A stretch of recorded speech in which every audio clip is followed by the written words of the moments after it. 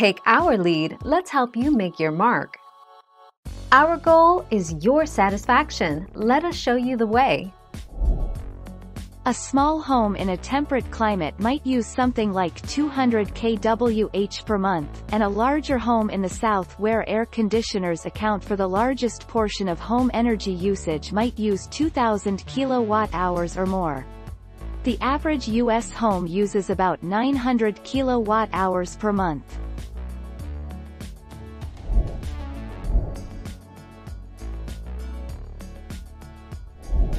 Make your mark, take our lead. If you live in an area that gets less sun, you'll just need to have a larger system installed at your home. The average system size in the US is 5 kilowatts 5000 watts so you can use that as a benchmark if you're unclear on what your power needs will be. 0.18 January 2020 Thank you for watching. Please subscribe and hit the bell notification.